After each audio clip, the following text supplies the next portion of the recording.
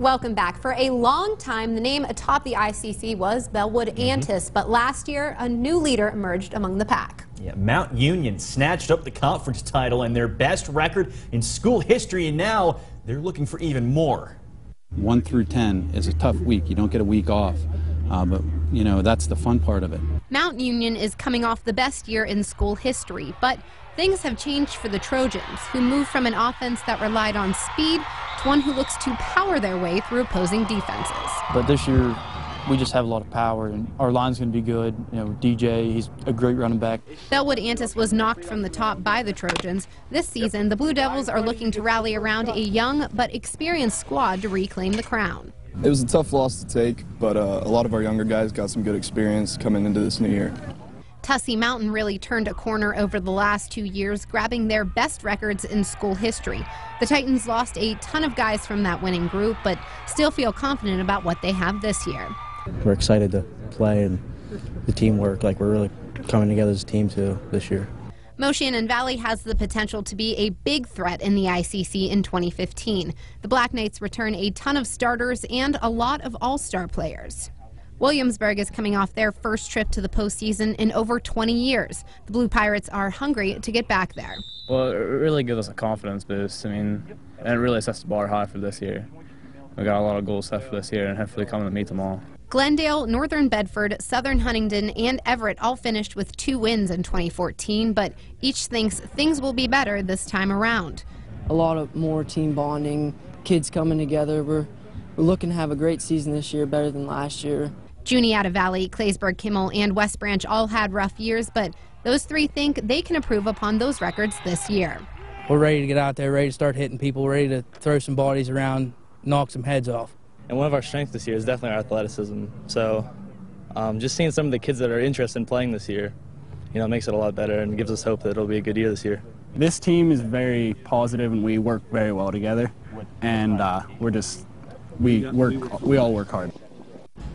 Now, over in the Mountain League, you have to talk about the big three, Central, Clearfield, and Tyrone. Jacob Cowker shows us how they're fighting for another league crown and who else is set to join the contenders.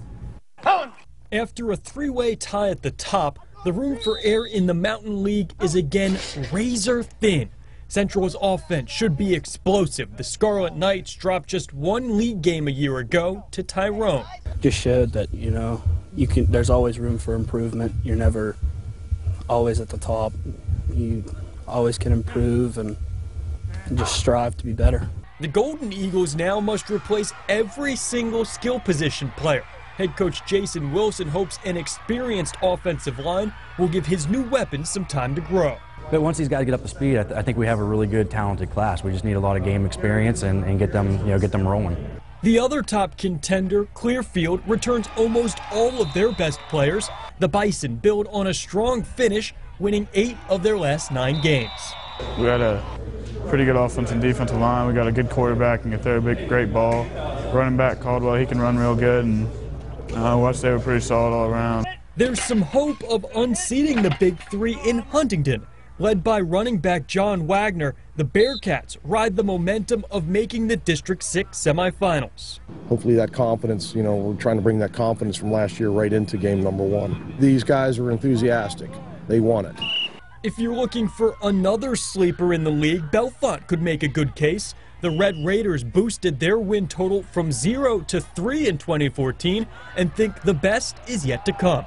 And a lot of these guys are repeats. They've been starters for two and three years. So from that standpoint, we have really good leadership and we have some depth in spots that we haven't had depth up to this point. Bald Eagle area, Penns Valley, and Philipsburg Osceola, meanwhile, all look to rebound this season. The Eagles, Rams, and Mounties combined put together just four wins a year ago. We've had a lot of ups and downs last year. We worked on a lot of stuff this year. A lot more competitive, a lot more focused, and uh, just a team that's ready to come out and show what, show what they got. They don't have a bar set high for us. We have the bar set as high as we can go. Thank you, Jacob. Well, still ahead, DuBois looks to follow up their best season in years with one that ends in a much deeper postseason run. And it could be very crowded at the top of the Westpac standings in 2015. We have this and plenty more when the Sportsbeat countdown to kickoff returns.